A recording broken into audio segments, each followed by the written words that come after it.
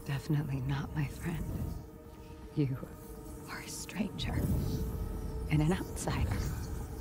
And right now you are trespassing here. And I want you to leave. Hadouken!